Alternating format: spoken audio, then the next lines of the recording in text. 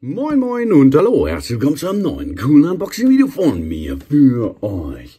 Heute mit dem Sneaky Zine Auto Demontagewerkzeug für Keile, Fahrzeuginnenverkleidungen, Demontage der Zierleisten, Polsterungen, Montagekeile, Zierleistenkeil, Cliplöser und das auch noch in Rot. Jetzt gerade seht ihr, dass es nicht rot ist. Aber wenn ihr öfters mal am Autochen was macht, zum Beispiel, oder an eurem Polster was macht, oder irgendwo anders, wo Sachen geklipst sind, sprich, wo eine Verbindung von Clipsen erforderlich ist, die zum Beispiel so aussehen. Ne? Sowas habt ihr im Fahrzeug unter eurer Verkleidung, in der Türpappe, als Zierclipsen, hier die kommen zum Beispiel als Zierde oben drauf, etc. Und darunter zu kommen ist immer schwierig, wenn ihr nur einen Schlitzschraubendreher benutzt, weil mit dem Schlitzschraubendreher kommt ihr nur an der Seite dran. Ich zeige euch mal, wie ich das früher mal gemacht habe. Äh, meine Hand ist jetzt sozusagen das Teil, das Bauteil und dort, wenn ihr an der Seite mit einem Schlitzschraubendreher drunter kommt, dann seht ihr, hebelt ihr das Teil nur auf der einen Seite hoch. Ne? Und dadurch kommt es oft dazu, dass diese Köpfe hier oben abbrechen und dann habt ihr hier unten den äh, Fuß von eurem Clip noch drinne und müsst es wirklich ähm, ausbohren, dann müsst ihr Gewindeschneider nehmen etc. Ne, im schlimmsten Fall. So, dann kauft man sich so ein Zeug. Das Demontage-Toolset in diesem Beispiel hat es ganz viele unterschiedliche Sachen, um euch da weiterzuhelfen. Das heißt also, es geht um solche, solch ähnliche Clips wie hier, denn das Set beinhaltet ja viele Teile. Das heißt also, man kann auch viel damit machen. Die mh, große Gefahr immer bei den Sachen ist, wenn ihr zum Beispiel einen Schlitzschraubendreher näht, dass ihr Kratzer reinmacht. Das ist auch immer schlecht. Das hatte ich am Anfang auch des Öfteren bei Fahrzeugen bei mir gehabt, dass ich einfach Kratzer dann in die inneren, in die Innenausstattung gemacht habe, nur weil ich abgerutscht bin ärgerlich, wirklich total ärgerlich. Und das kann, könnte hier könnt ihr hiermit vermeiden. Es kann natürlich trotzdem passieren, dass ihr Kratzer reinmacht, aber die sind dann nicht mehr so tief, weil das Zeug, was hier drin ist, sieht, ähm, ist nämlich beschichtet etc. Und dadurch wird es einfacher sein, die Schäden zu minimieren. So, schauen wir mal an, was alles dabei ist. Wir haben also 13 Stück. Das ist für Zierleisten entfernt, äh, ähm, für Türverkleidungen, Armaturenbretter zum Beispiel.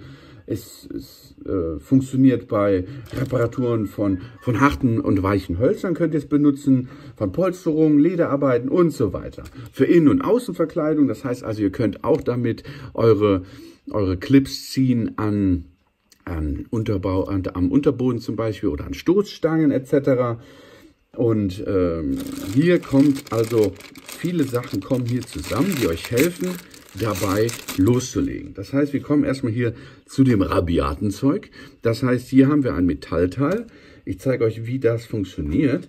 Ihr habt also jetzt als Beispiel, habt ihr diesen Clip im, als Zierde obendrauf auf eurer Innenverkleidung oder auf, auf eurer Unterseite des Fahrzeugs. Und ich hatte euch ja vorhin erklärt, wenn ihr an der Seite nur drunter geht und es hochhebelt, dann knackt es meistens. Wenn ihr aber so einen Teil hier benutzt, der hat so, ein, so eine Ausbuchtung hier, damit könnt ihr da drunter fahren, seid dann in der Mitte da, wo auch der Halter ist. Seht ihr das? Dort, ne? Das heißt also, dann seid ihr dort, wo es hin sollte und dann könnt ihr ihn leicht und mit diesem Hebel, der hier dran ist, entfernen. Hochhebeln. Dadurch kriegt ihr das viel öfters besser rausgehebelt, als wenn ihr das nur mit einem Schraubenzieher macht, so wie ich das vorher gemacht habe. Ne? Weil dann passiert euch in den meisten Fällen, dass dann die Köpfe abbrechen. Das kann euch da auch passieren, ohne Frage. Ne? Das, das, das, aber die, die, die Chance, dass das passiert, ist viel geringer, als wenn ihr es nur mit einem Schraubendreher macht. Ne? Das heißt also, ihr seht, hier ist der Kopf, da kommt es drunter und so wird es dann rausgehebelt. Ne? Das gibt es natürlich in vielen Varianten. Hier könnt ihr zum Beispiel dort drunter fahren und es super raushebeln. Ne? Hier wäre das jetzt drinne.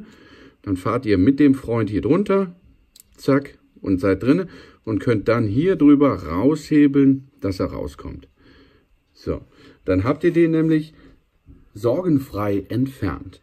Weil reindrücken, das könnt ihr ja wieder mit der Hand dann, plopp zurückdrücken, dann ist er wieder drinnen. Denn die Funktionsweise hinter so einem ähm, Clip ist, dass sich wie bei einem Dübel zu Hause das dann ausdehnt, wenn es hinter einer scharfkantigen Ausbohrung ist, plopp, und dann bleibt das drinne. Um das rauszukriegen, muss man halt ein bisschen Gewalt aufwenden, weil das muss sich dann wieder zurückziehen und rauskommen. So, was haben wir noch? Hier haben wir noch einen weiteren Freund dabei. So. Das ist ja cool. Das ist für größere Sachen. Der hat auch einen Mechanismus, der das wieder zurückdrückt. Das heißt also, hier haben wir wirklich eine Clip-Entfernungszange, die dann große Clips, jetzt habe ich kein Beispiel hier, aber jetzt gleiches Prinzip, wenn hier drunter jetzt die, die Rückwand wäre, ihr fahrt dann unter das Teil drunter und habt eine viel größere Auflagefläche hier, denn der Druck ver, ähm, verteilt sich nämlich nach hier zu den Seiten und hebt dann den Clip noch gerade hinaus. Das heißt also, wenn ihr sogar Platz habt, um so einen Clip, eine Clipzange anzuwenden, ist das noch sinnvoller, weil hier ist ja dann der Boden und das drückt dann dieses noch besser raus. Also das hier ist für die engere, äh, für die engere Wahl, das rauszuholen. Und hier haben wir das so einfach nach oben weg. Ching, ching. Sehr gut. Das ist eine gute Sache. Vor allen Dingen für größere Clips könnt ihr das super benutzen. Und es geht noch weiter. Wir haben hier ja noch eine Tasche dabei. Diese Tasche beinhaltet, erstmal sie ist sehr kompakt gebaut. Das heißt, ihr könnt die äh, überall mit hinnehmen. Und dann habt ihr alles, was ihr braucht, zusammen. So. Das heißt, wir haben hier noch 1, 2, 3, 4, 5, 6, 7, 8, 9, 10, 11 Plastikheber dabei und diese zwei Freunde. Und die hier, die finde ich ganz cool. Also das ist was ganz super Tolles. Damit kriegt ihr richtig den Druck besser verteilt. Dann werden noch weniger Clips kaputt gehen, wenn ihr sie heben müsst. Das hier ist dann für die Ecken. Und hier haben wir dann diverse unterschiedliche Arten Verkleidungen zu lösen, denn die Verkleidungen sind halt immer sehr fest und man hat ja auch immer Schiss, jetzt äh, da richtig dran zu roppen. Ne? Das heißt also, wenn ihr dann hingeht und zum Beispiel oft benutzt habe ich, habe ich den hier schon, dann geht man unter die Verkleidung an der Seite, so, und durch so einen Hebearm kriegt ihr dann die Verkleidung sehr einfach vom Fahrzeug gelöst und dann könnt ihr diese dann auch noch den Hebel vergrößern. Jetzt seht ihr die hier, viel größerer Hebel. Und damit kriegt ihr Verkleidungen ganz einfach gelöst und in den meisten Fällen auch ohne, dass die Clips abbrechen. Wie gesagt, es kann trotzdem noch passieren. Und es wird euch auch passieren. Hier haben wir was, wo wir was richtig hochhebeln können. Das ist auch ein sehr sinnvolles Teil. Ich habe das zum Beispiel bei der, bei der Montage von meinem von meinem Anhängerkupplung sehr gebraucht, weil da musste ich das halbe, die halbe Innenausstattung auseinandernehmen. Also ganz toll. Auch, wo ihr es sehr gut einsetzen könnt. Sowas ist wirklich, wenn ihr polstert, damit könnt ihr sehr gut dann das Polster auch etwas hin und her bewegen. Und das ist in, in so einem Kunststoff gefertigt, der, der flexibel ist. Seht ihr? Ich kann den drehen. Der flexibel ist, aber doch stark. Das heißt also, wir, wir haben hier verschiedenste Formen, um mit den verschiedensten, ähm, verschiedensten Oberflächen arbeiten zu können. Wo ich es auch schon benutzt habe, war beim Spachteln. Da habe ich es auch schon benutzt. Das hat auch gut funktioniert. Also hier. Oder, ey, das ist auch gut. Das Style hier zum Beispiel, das habe ich auch schon benutzt, bei, wo ich die, wo ich die Felge erneuert hatte, wo ich die lackiert hatte. Könnt ihr auch gerne nachschauen in meinem Kanal, habe ich Video gemacht. Da habe ich diese Teile benutzt, auch um die ähm, Felge zu reinigen. Ne, weil das ist auch sehr gut einsetzbar als Plastikspachtel, also multifunktional einsetzbar. Hier ein breiter Spachtel. Damit könnt ihr gut Sachen abkratzen, reinigen, ohne sie zu beschädigen. Weil Metall ist, macht, macht schneller Kratzer, viel schneller Kratzer als diese, diese Form des Kunststoffes. Ich glaube, das ist ABS oder so heißt das. Und ähm, ganz einfach zu benutzen, sehr sinnvoll zu benutzen. Und hier sind auch Aussparungen für große Clips. Da könnt ihr dann auch drunter fahren und es dann hochheben. Also sehr sinnvoll. Das sollte auch in keiner Werkstatt fehlen, weil einfach die Kfz heute alles geklipst haben, kaum noch verschraubt. Zumindest in der Verkleidung. Und das Teil hier, das finde ich Bombe. Also das ist super.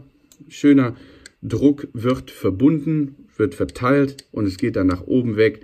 Der Clip wird einfach und effizient gelöst. Die anderen sind super toll. Ich habe sie schon benutzt und sie funktionieren. Ihr könnt sie divers einsetzen. Wenn ihr Handwerker seid, habt ihr Ideen.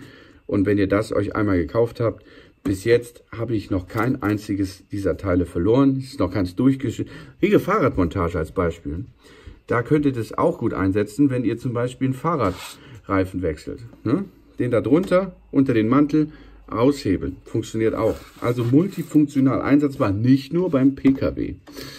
Also, das sollte nicht fehlen in jeder Werkstatt, auch wenn es eine Hobbywerkstatt ist. Dann sage ich vielen Dank fürs Zuschauen, bitte abonniert mich, gebt mir ein positives Feedback und bis zum nächsten Mal. Sun Sun!